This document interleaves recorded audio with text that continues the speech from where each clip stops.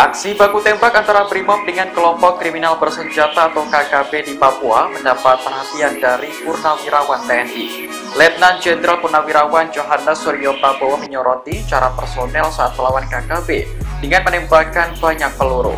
Menurut Suryo, tindakan itu kurang tepat karena dianggap menghambur-hamburkan peluru. Hal ini disampaikan Suryo dalam unggahan di akun Instagramnya pada Rabu 26 April. Unggahan tersebut menampilkan video baku tembak antara anggota Brimob yang diduga tengah melawan serangan KKB. Sejumlah personel tampak bersembunyi di balik tumpukan karung sambil sesekali melepaskan tembakan.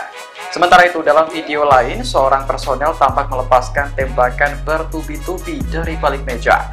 Seseorang dalam video memperingatkan agar personel tersebut tak melepaskan semua pelurunya. Ia ingin tembakan dilepaskan secara bergantian dengan personel lain.